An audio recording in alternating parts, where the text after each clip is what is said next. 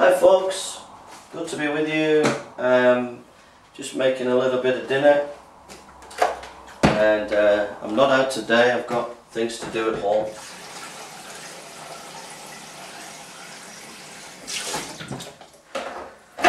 So I'm going to be busy for a, a week or so, so I won't be around much on uh, YouTube. And uh,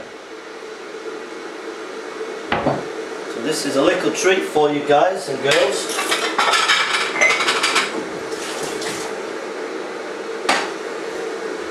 Don't forget my website, jasonburnspreacher.com and don't forget um, Facebook and Twitter as well. And also the Royal Blood Ministries website, which I'll put stuff on every now and again.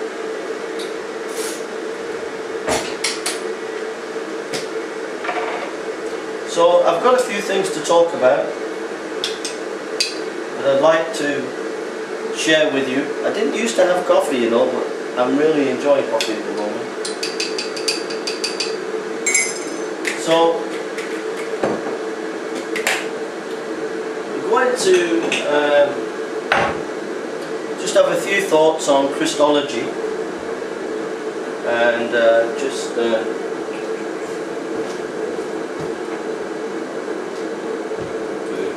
Bum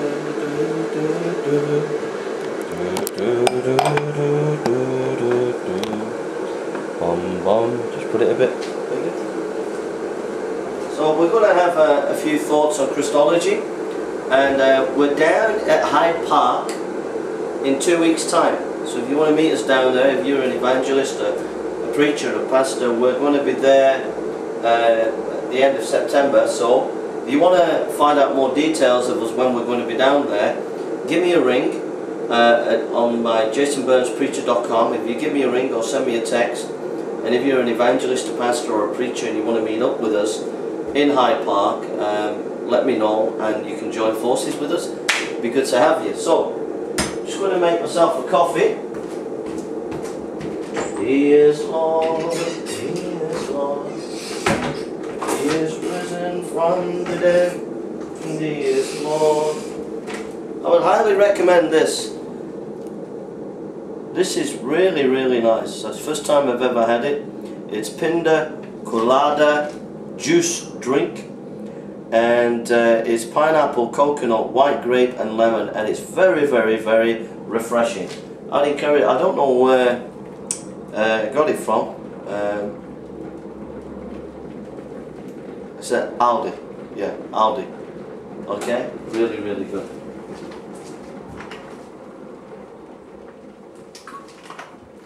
Just took a swig of that, absolutely gorgeous.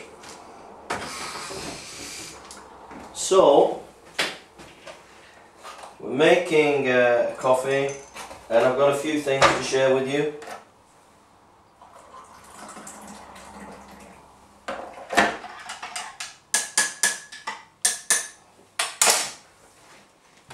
Do, do, do, and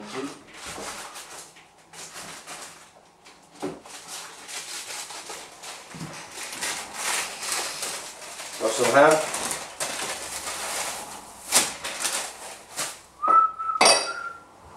Mm, do, do, do, do, do, do, do. There we are. These are better.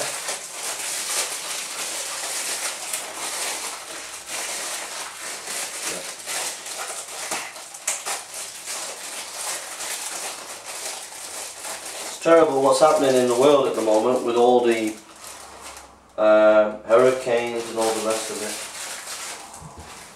Really, really bad. Very, very sad. Bible warns though, in the last days there'll be earthquakes and all the rest of it. Okay, the Bible warns about that. So we're just making some sandwiches here, ham sandwiches. And then we'll get on to talk about some things. Um, we're going to talk about Christology. Okay? So we will get there, folks. We will get there. So, so uh, yeah, it's been terrible on the news. Very, very bad. Very, very bad.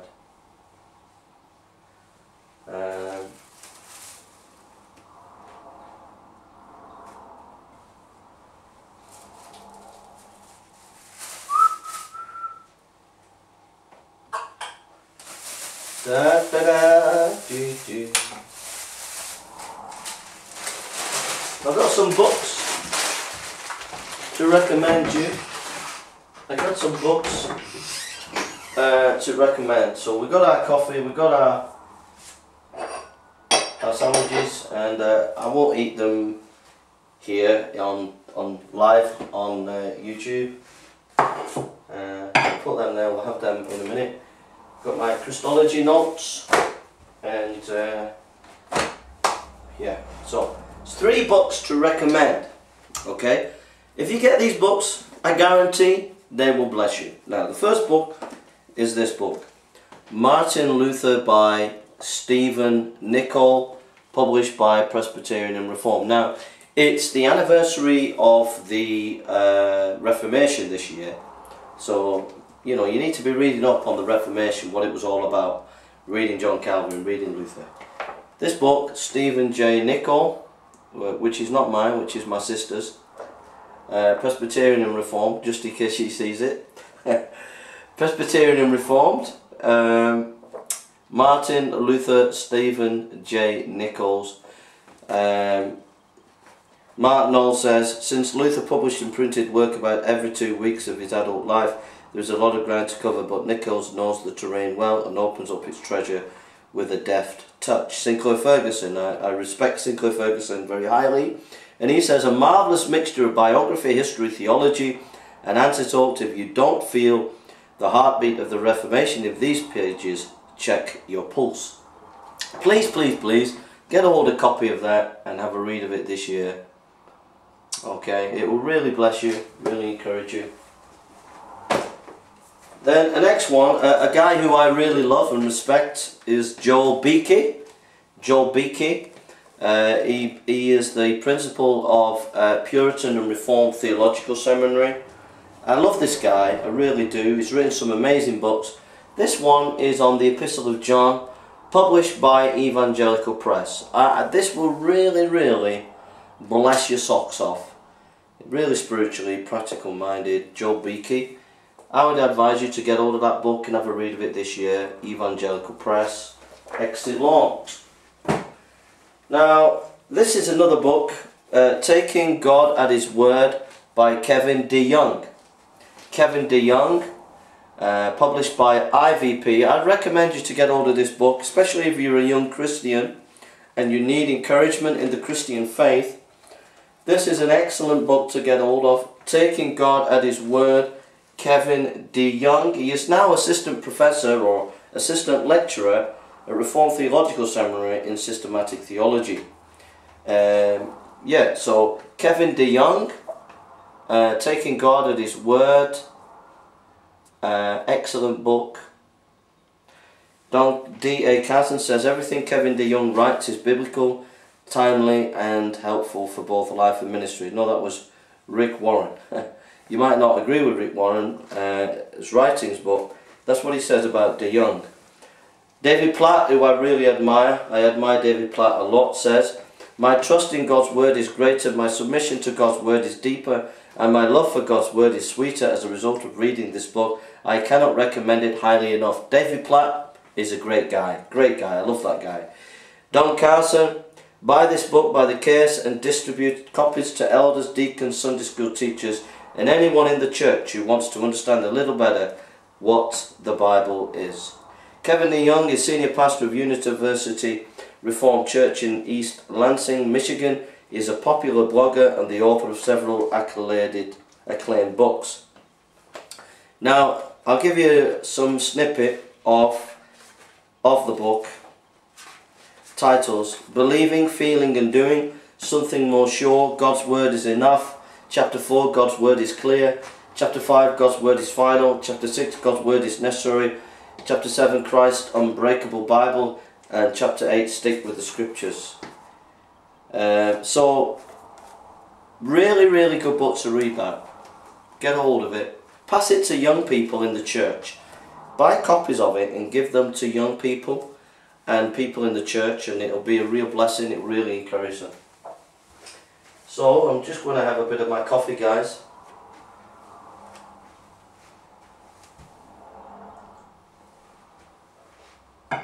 So, I want to talk about um, Christology. Um, yeah. I want to quickly just talk about Christology and share my notes on that. Um, we're going down to Hyde Park and so this, this video is basically for um, helping people to defend their faith at Hyde Park. So this is for any apologists down at Hyde Park who are Christian to know how to answer Muslims. It's also for Christians who need encouraging in their faith and strengthening in their faith. Uh, and, and we're going to look at Christology or, or, some, or uh, a bit of teaching on the doctrine of who Christ is, who, who our Lord is. So I'm going to pray. Dear Father, we thank you for this day. We thank you for your love. And we thank you for your grace. We thank you for your mercies. We thank you for your blessings. We give you the prayers. We give you the glory. And Father, we just pray as we just share some thoughts right now on Christology. I just pray that you bless for your glory. And that, Father, it be a real blessing to people in Jesus' name. Amen. Amen. So hope it's going to be a blessing to you. So, at Hyde Park, get my coffee.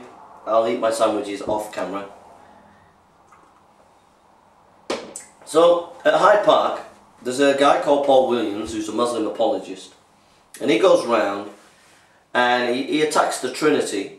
And when he attacks the Trinity, he's using scholars, academic scholars, who, who are not Trinitarian, and he's using those scholars. So, we're going to talk about that. So, there is a duplicity, a duplicity in Muslim apologetics. What they tend to do is they tend to use Western scholars who critique and attack orthodoxy. But yet in their own countries, in their own nations, in their own communities, they will not allow criticism of the Quran. And yet, they will take Western scholars who have criticized the Bible and they will turn those scholars onto Christians and orthodoxy. There's a duplicity and a dishonesty there. And no more do you see that with Paul Williams. Paul Williams will go around Hyde Park and he'll say, oh, do you believe in the Trinity? Well, look at this passage in Chronicles. Look at uh, Solomon. Uh, the, the people bow before God and they bow before Solomon. So therefore, uh, they're worshipping Solomon, but Solomon's not God. So just because they worship Jesus does not mean that Jesus is God.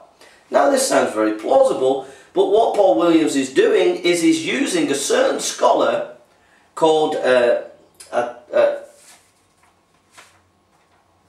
what's his name? Um,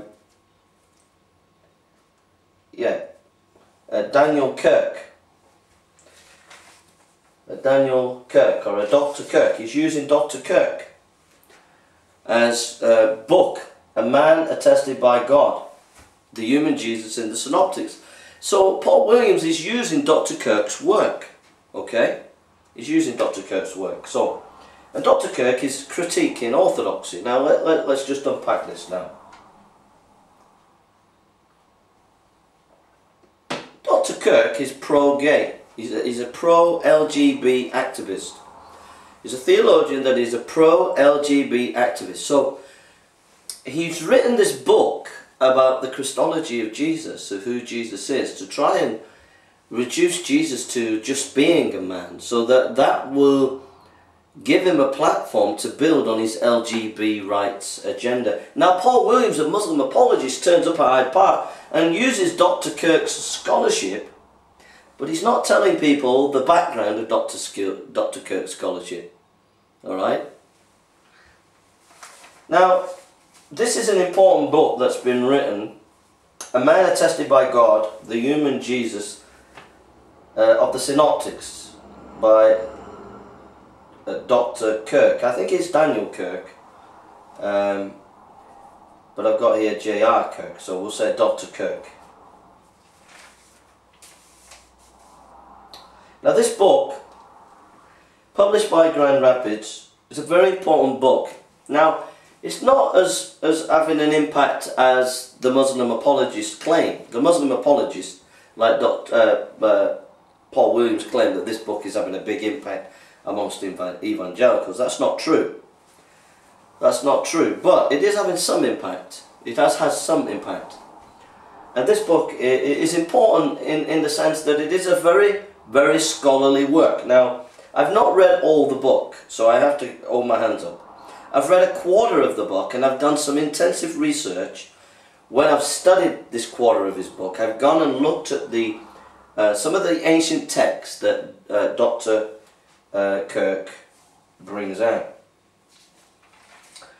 Now the first thing about his book that is important to is he says this, he brackets he brackets Paul's epistles as not being relevant for this for this for this uh, piece of scholarly work that he's done. So he's, he's saying, look, we're going to look at the synoptics, Matthew, Mark and Luke, but we're not eh, going to be involved with looking at um, at uh, Paul. Right now, that's fair enough. If he wants to look at the synoptics, he's, he's entitled to do that. But what he's not entitled to do is bracket the evidence out of the picture just because it doesn't suit him. You see, he brackets out Paul's epistles, but then he'll look at the widest field of Judaism, uh, like uh, the Book of Jubilee and other, other ancient Jewish texts, but he won't be looking at Paul. So there's a there's there's a there's an intellectual method there that's dishonest and is setting up the argument. You know, Paul's epistles are important because they're the earliest source material that we have about the Christology of Jesus. So, so if we have this Christology of Jesus by the Apostle Paul, which is round about, what, AD 55 or even earlier, and these are the, our earliest sources of who Jesus was, Christologically speaking, and, and there's high Christology there, i.e. Christology about Jesus being God, then when we're going to be looking at the uh, synoptics, uh, it, it, opens up the possibility that as we're looking at the synoptics, there could possibly be high Christology, i.e. Christology that talks about Jesus being God. It opens us up to be open to that possibility. But if you bracket out Paul, it closes you off from that possibility. So that's the first thing. The second thing is, so the second thing is, is that Dr. Kirk then has a theory. And he calls it the idealized human. And, and basically what Dr. Kirk is saying is that there is an idealized human motif throughout ancient literature. And we see this in the New Testament. So the idea is that the idealized human is a human who has divine properties but is not God di divine identity but is not God.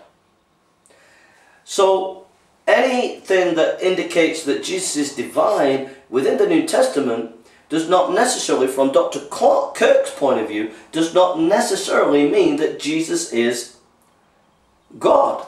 He's just an idealized human. So he has this motif, what he calls the idealized human. And then he goes back into ancient literature he goes back and looks at uh, Akkadian literature. He, he, looks back at Jew, Jew, Jewish literature.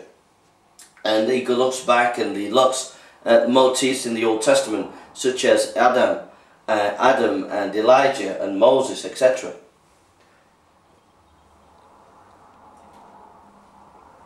Now the, the point that I want to get at here is his motif, his motif is the hermeneutic that he's going to use to in, interpret ancient literature.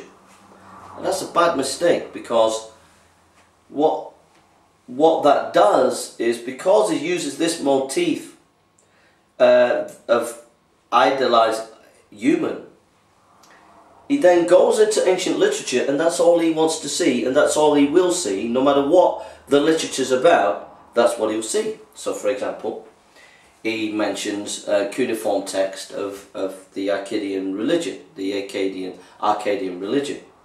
Arcadia is Akkadian religion are the, are the uh, Syrian and then the Babylonian Empire and And, and then before the Syrian Empire, there was the Akkadian religion that stretched these empires.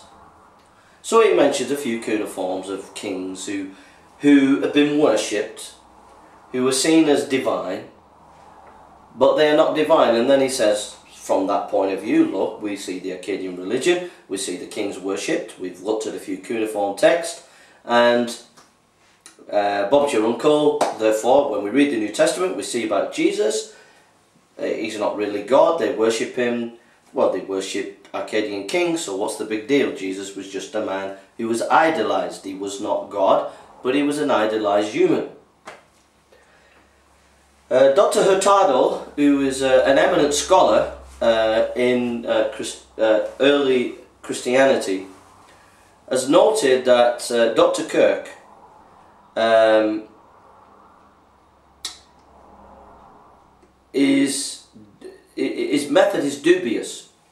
He points out and, and, and, and takes him to task for bracketing out Paul's epistles, saying that this was not a fair methodology. But he also takes him to task for his quotations of ancient literature because he's doubtful whether these ancient texts mean what Dr. Kirk is saying. So Hurtado points out that when um, when uh, Dr. Kirk is quoting from um, the book of Enoch and, and saying, look, there are people being worshipped here, but they're not God. Hurtado points out that these are ambivalent and, and it's not clear. And he's making more of an argument from this than it can be substantiated. Here's the point that is very important Let's go back to the Akkadian situation. So Dr. Kirk quotes a just a few cuneiform texts of kings. I mean only a handful, not many. He quotes only a handful. So I'll give you an example of how you've got to be wary of these kind of critical scholars.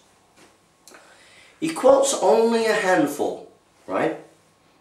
Now we're talking, now we're talking of thousands of years, thousands of years of the history of one religion, the Akkadian religion. The Akkadian religion. Over thousands of years, over a number of empires, to the point that one scholar, one eminent scholar whose name has, has left me, but one eminent scholar in this field said, it's very difficult to define what the Akkadian religion is. There are so many complex interchangeable uh, factors within the Akkadian, Akkadian religion over thousands of years. Uh, for example, the complexity of um, sometimes there were gods uh, related to cities and um, then there were religious practices that we, we don't fully understand or fully know. And so it, it's very difficult. And then empires come and go. And it's and, and then each empire emphasizes certain gods above other gods.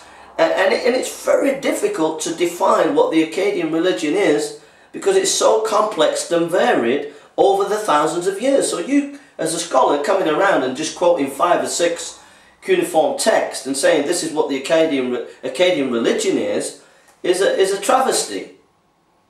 But the popular mind, the mindset of the public, the Christian public, will read what he said about the Akkadian religion, Dr. Kirk, and say, look, they, they worship their kings, therefore, uh, he was an, they were idolized humans, therefore, Adam, uh, Jesus is an idolized human, therefore he's not God.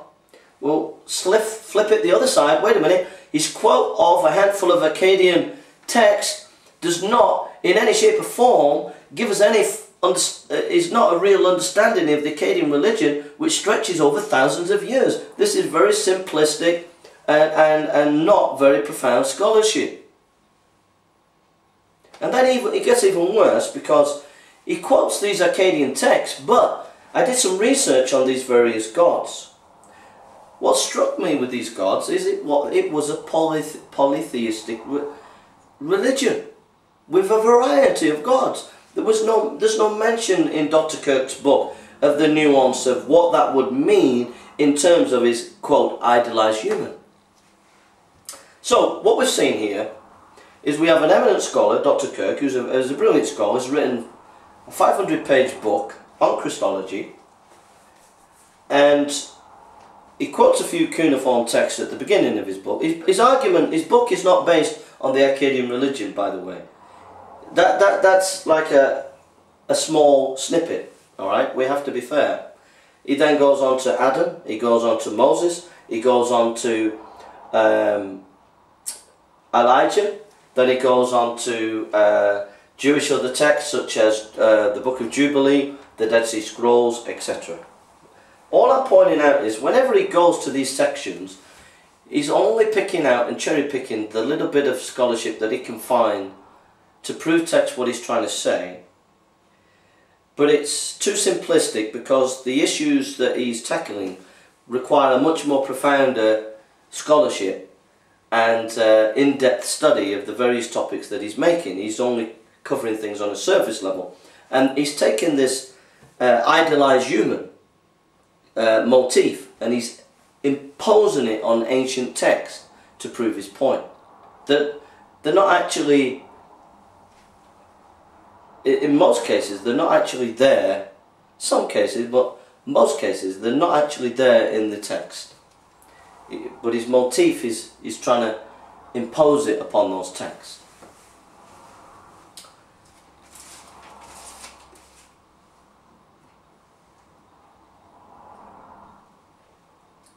Dr. Kirk does interact with other scholars, I give him that. Dr. Kirk does interact with Richard Bauckham, Hurtado, he does interact with other scholars. This guy is a top scholar, there's no doubt about it, he's a brilliant scholar and he, he, he does engage in, um, in, in dealing with other scholars, you know, and he does, I think he does in, in a fair way, uh, uh, he, he tackles scholars who agree, disagree with him, and, and I give him credit for that. So, so what does this mean? Well, what does this mean in practice? Well, for example, Paul Williams, when he's in um, the Muslim apologist, when they're at Hyde Park, Paul Williams will use Dr. Kirk's scholarship and he'll say, look, uh, so he's got Paul Williams has got the idealized human motif in his mind. So He'll quote a passage from Solomon, uh, the uh, Chronicles, and he'll say, Look, uh, they bowed and worshipped before God and Solomon. Therefore, therefore, Jesus is not God, because the worshipping Solomon, Solomon's not God. So if they worship Jesus, doesn't mean to say he's God. Now that passage, particular passage, is not clear. It is not saying that Solomon is to be worshipped. The context is quite clear. It's worshipping God, but out of respect, Solomon, who is a servant of God, gets respect too. But it doesn't mean he gets the worship. But what what is important here is the whole, and this is what Dr. Kirk has done, and this is what Paul Williams does, fails to, to, to look at the whole context of Judaism. Judaism in the Old Testament, or from the, the, the Jewish scripture, or the uh, looking at it from Jewish people even, of the ancient times, or, or um, yeah, uh, just just looking at the Old Testament, whichever way you define it, is monotheistic. it, it is monotheistic. It is one God. So that is the whole culture. So when he takes the text and says, look, they're bowing and worshipping for Joseph, uh, before uh, Solomon and God, so why they're worshipping Solomon? If he took the whole context of the religion of that time, they believed in one God. So he's obviously uh, imposing the Kirkian, Dr. Kirk's motif of an idolized human within that text and not looking at the whole religion. And that's what uh, Dr. Kirk does in his scholarship. He goes to various ancient texts and, and doesn't really extrapolate what the whole religion of that particular culture actually believe. And then, because he doesn't have the wider context, he just goes to a specific text and extrapolates what he wants from that, his, ideali his uh, idealized human motif. So, I think that, I think, yeah. Uh, I think if it, if it's, I think if we just go to um, 1 Chronicles, so 1 Chronicles, uh,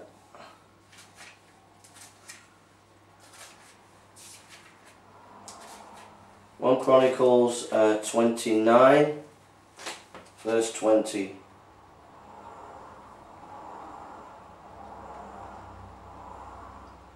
Yeah, no, sorry about that, sorry about that. I thought that was the passage. So, so that's uh, Dr. Kirk.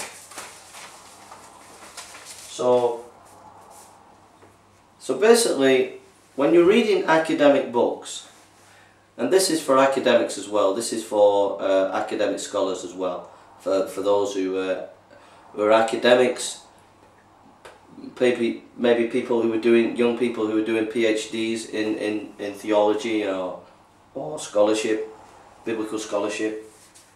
Uh, but also for Christians um, who are just reading uh, books as lay people, I give you a piece of advice.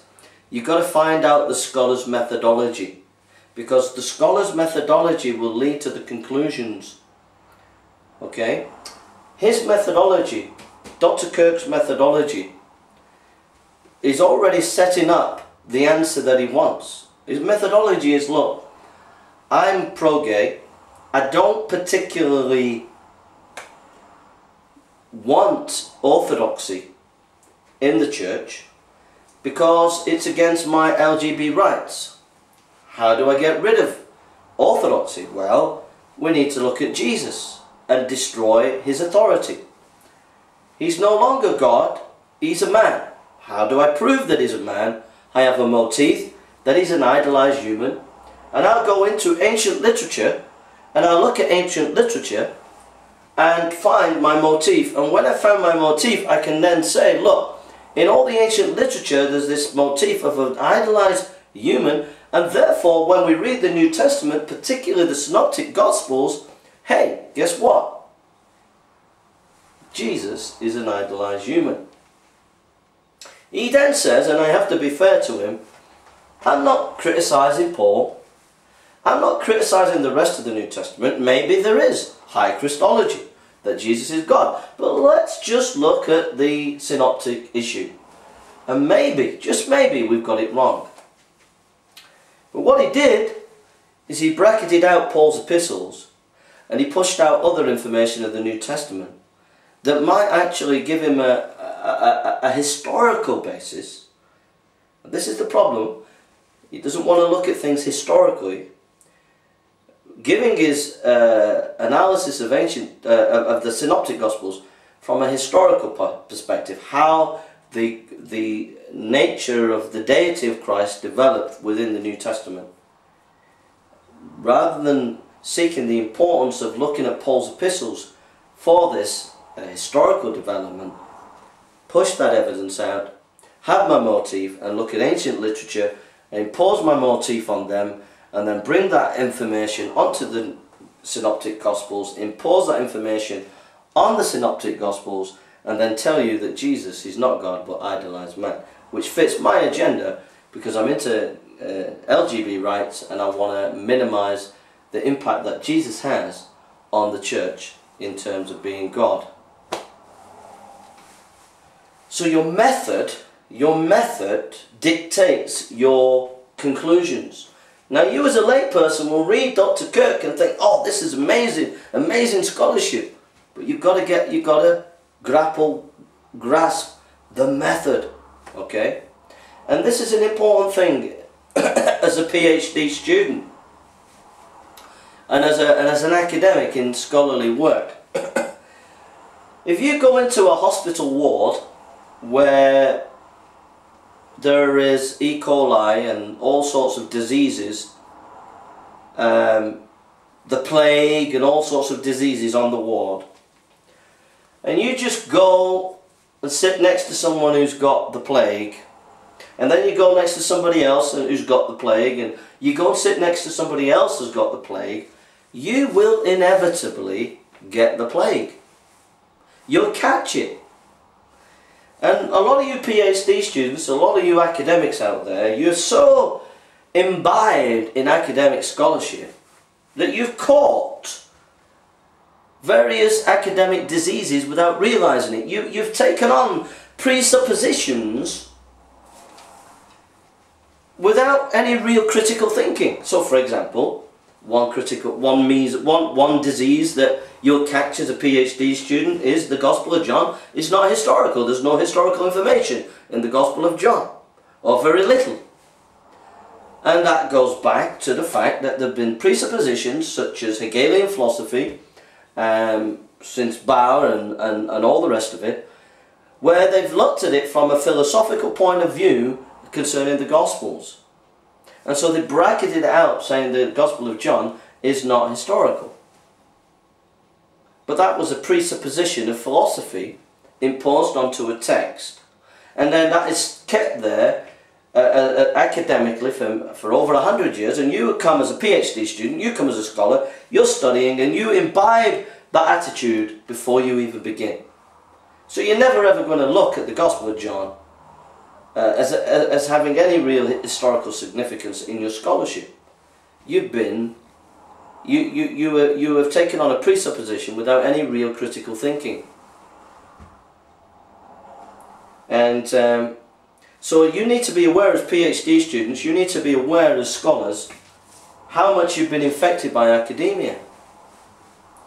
And you need to, you need to get back to more of a, a robust biblical theology, you need to be reading Herman Bavinck's Reformed Dogmatics, you need to be reading uh, Adolf Schlatter's works, you need to be reading um, Theodore Zahn's works, you need to be reading, um, uh, try, just trying to think, you need to be reading uh,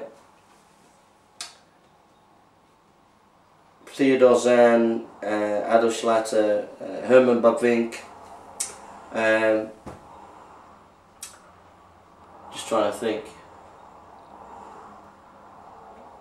You need to, there's a guy called John Lightfoot, a bishop uh, in the 19th century, who, who did uh, patristic work in a very, very uh, solidly uh, scholarly way. That's the kind of scholarship that you need to be doing. Uh, a scholarship that's aware of the presuppositions around uh, but is, is thoroughly, thoroughly committed to the Word of God. And, and thoroughly committed to the honour of God. And thoroughly committed to, to, to Christ as our Saviour. But if you allow your if you allow yourself to be um, influenced by various academic presuppositions then you, you, you, you, you, you're inevitably going to write works that actually undermine the Christian faith. There are scholars today who are evangelical, and God bless them. They mean well, they've written some very, very great scholarly works. But at the same time, they also undermine the, the Christian faith because, because they've imbibed so much of the academic presuppositions that there'll be certain statements that they make. So, for example, we have um, one eminent apologist who says that the passage where it talks about uh, uh, coming out of the grave, uh, people coming out of the grave at the resurrection of Jesus, at the time of the resurrection of Jesus, that that is not historical, but that's myth. Uh, that, that's because they've taken on certain presuppositions of academia. The intellectual tools that we interpret scripture uh, academia has a whole variety of them. Reader response and uh, all sorts of uh, postmodern ways of reading scripture.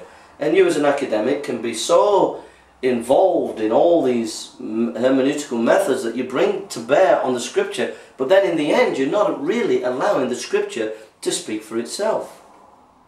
Uh, but you don't realize that because you're so enthralled with all the academic sparkle of the various intellectual tools that you've gathered over the many years that you've been studying in academic format. I think sometimes as academics you need to just leave, go on holiday for a, a month and go and read some good solid orthodox literature and get refreshed and get back to what it's all about.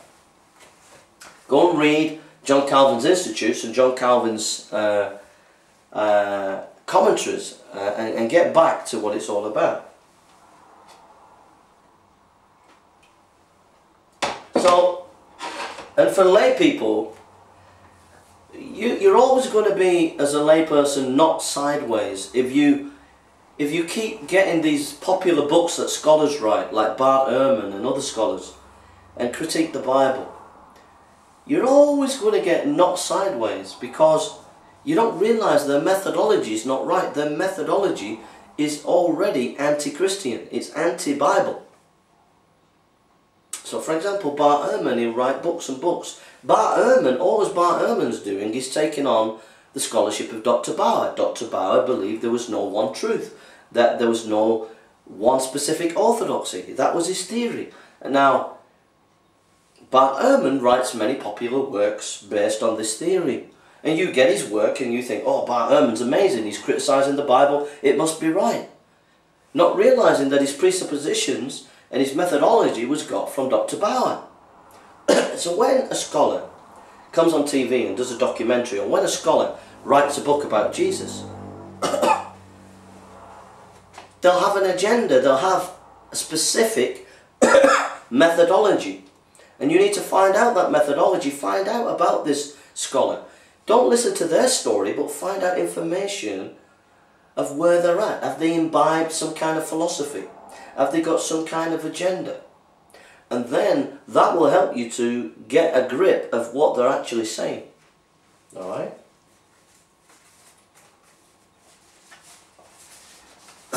Excuse me. So, another book on Christology. So another uh, book on Christology that's very helpful to counteract Dr. Kirk. Dr. Kirk's book is A Man Attested by God, the Human Jesus of the Synoptics, J.R. Kirk. I think it's Daniel Kirk, but J.R. Kirk, Grand Rapids 2016. Alright? But if you type in A Man Attested by God, the Human Jesus, Dr. Kirk, 2016, Grand Rapids, you can get hold of that book, you can go and read it. um, it's quite a, a scholarly work and I'm reading through it. I've still got uh, more work to do on that book, alright? But it's good to grapple with ideas that are different from you. You see, the, the, the, there's, a, there's a theory going around that Orthodox people don't read scholarship against their position. Well, I'm reading this book, and I'm always reading books that are against the Orthodox position. I think it's good to find out what people are saying against the Orthodox position so that we can critique what they're saying and see if they're bringing anything to the table that's helpful uh, for the discussion and debate. So, a book that is the flip side and a much more profound scholarly work than Dr. Kirk's is the Cambridge scholar um, J. Gathercole. Think it's, yeah, G A T H E R C O L E. Simon J. Gathercole. Gather Cole. G A T H E R C O L E. His book is called The Pre Existent Son. the Pre Existent Son. The Pre Existent Son, published by Eerdmans. It's a very, very, very uh, scholarly work. I think it's much more profound than Dr. Kirk's because uh, Garther Cole really, really, really uh, interacts in a nitty-gritty way with various opinions. It's very intricate scholarship, much, much more intricate than this. this. Dr. Kirk is a big, is a more broad canvas, and I think he's done the work on a broad canvas for others to do detailed work on what he's saying. But what uh, Garther Cole has done is given you detailed uh, analysis. And what his argument is, basically there is um, information in the Synoptic Gospels that show that Jesus is God. And uh, we'll look at some of that information. So, he goes into uh, Philippians chapter 2 verse 8. Uh, and so now his methodology is completely different from Dr. Kirk's. You remember Dr. Kirk, I won't go into detail what he said, but he, he bracketed out Paul's epistles. Now here, before uh, Gathercole, Simon Gathercole gets into his book, The Pre-Existent Son, published by Eerdmans, before he gets into the, the, the, the, the meat of his book, he he, uh, he, he, he just has a look at Paul's epistles and says, look, there's actually high Christology, Christology that's showing Jesus is God here, before we even start on the Synoptic Gospels. And we have to say this because Paul's epistles are the earliest source of who Jesus is uh, as the God-man. So he looks at Philippians chapter 2. Philippians chapter 2. So if we go to uh, Philippians chapter 2.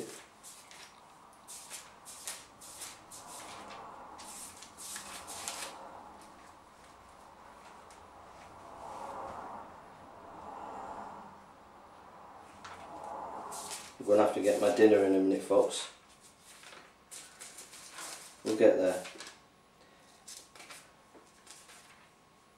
Philippians uh, chapter 2, verse 6 and 8. Philippians chapter 2, verse 6 and 8. It says,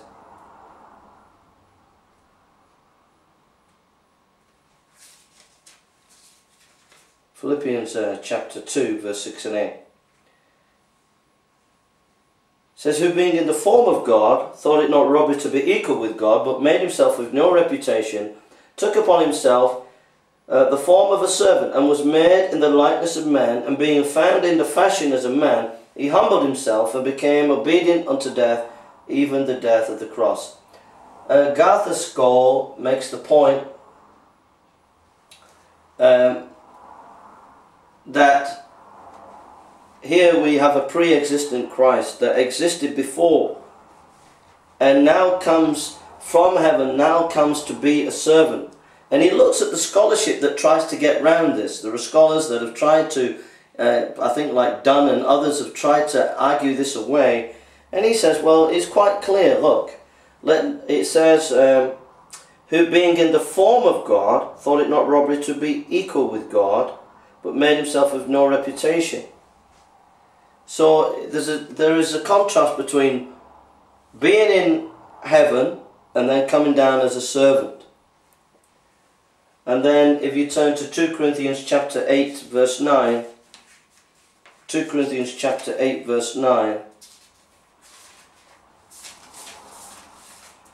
uh, 2 Corinthians uh, chapter 8 verse 9, for you know the grace of our Lord Jesus Christ, that though he was rich, yet for your sake he became poor, that you through his poverty might be rich. So it's a little bit weaker there in its expression of Jesus be existing before the beginning of history. Uh, but the idea is there. He was rich, now he's become poor, which is not exactly the same, but looking from the same kind of trajectory or perspective as Philippians, where it says, uh, he, he thought it not robbery to be equal with God, but made himself of no reputation. If we turn to 1 Corinthians chapter 15, 47, uh, 1 Corinthians uh, 15, 47,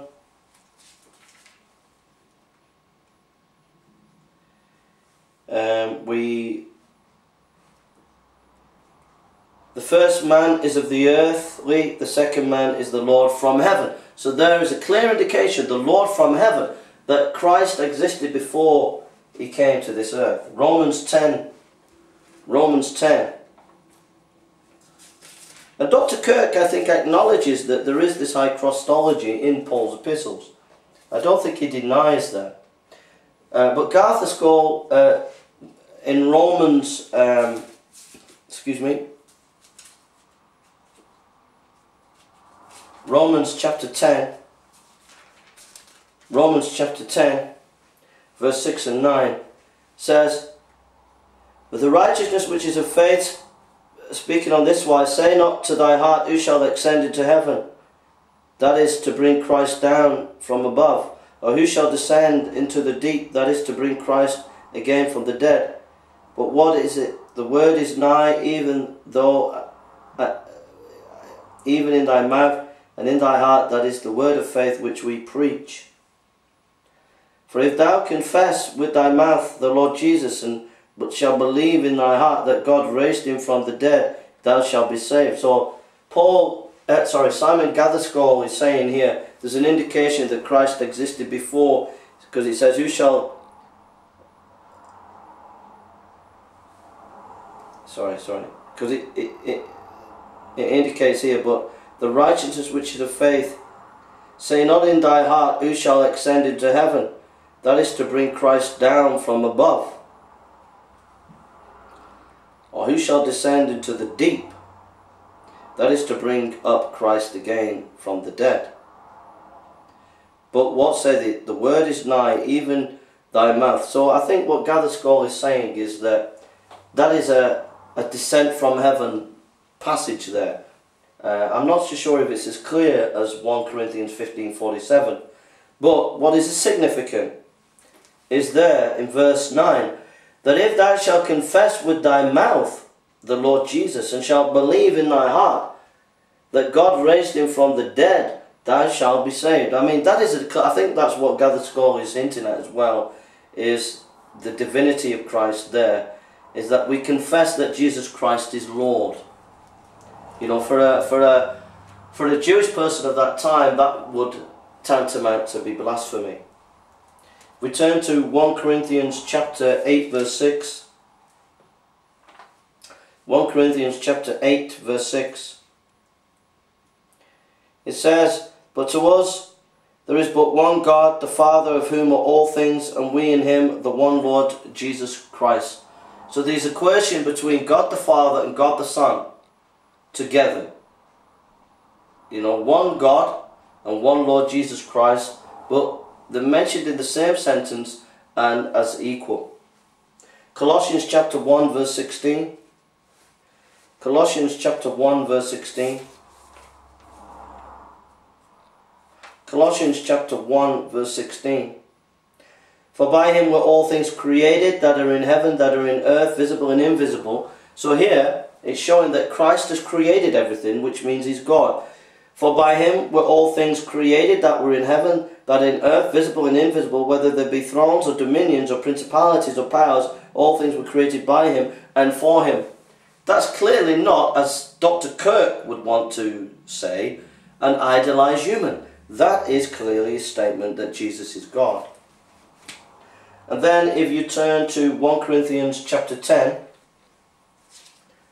1 Corinthians uh, chapter 10,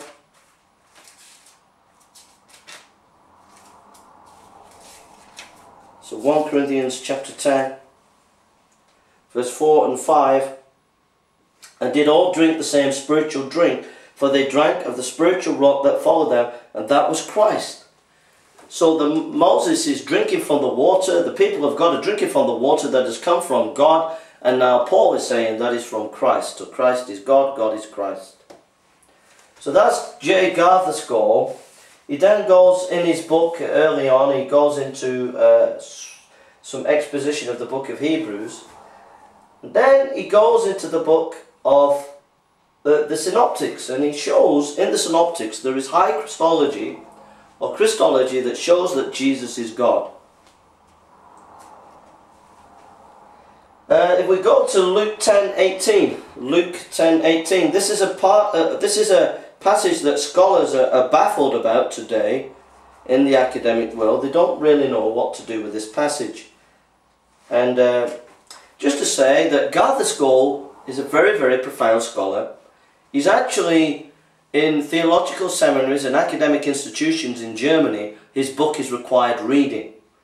So I mean, if your book becomes required re reading in, in, in academic circles, then it shows that your book is quite significant. So it shows that his book is much more significant and is more orthodox. It's actually defending what we believe, the divinity of Christ.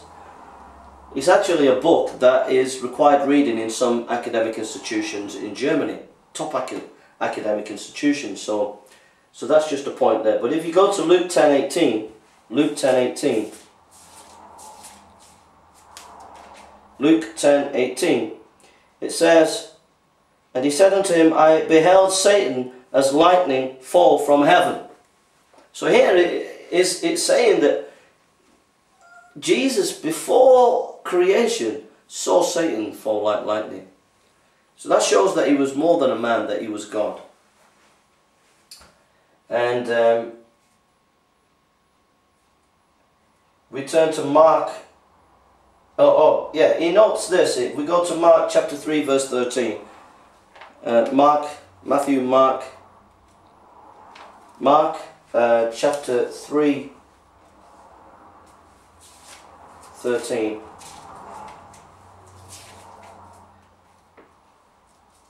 It says this, And he goeth unto a mountain, and calleth unto him whom he would, and they came unto him. So Gathercole notes that the Lord Jesus chose his disciples, elected his people. Alright? And um, so he notes that election, the, God, the choosing of people, is God's priority, pri prerogative. And so Jesus is doing the election here in that passage in, um, in Mark chapter 3, verse 13. And he goeth up unto a mountain and calleth unto him whom he would, and they came unto him. So the election, the choosing of people, is a prerogative of God, and yet Jesus is doing the election. I thought that was very interesting and you can look at Luke chapter 6 verse 13. Luke chapter 6 verse 13. And put forth his hand and touched him saying, I will be thou clean. And immediately the leprosy departed him. Um, I think he mentions that passage in showing that the power of Christ, that Christ, the fact that Christ, the Lord could heal a person also shows that he's God. He not only did it with the instruction of the Father, but he did it sometimes where he just touched and that person was healed, showing that he had authority. The, the Lord had power to forgive sins, Luke 7.49. Luke 7.49 says, And they that sat in meat with him began to say with themselves, Who is this that forgives sins also? So the people were amazed that he could forgive sins. And they saw it as a prerogative of God. And yet he could forgive sins as God.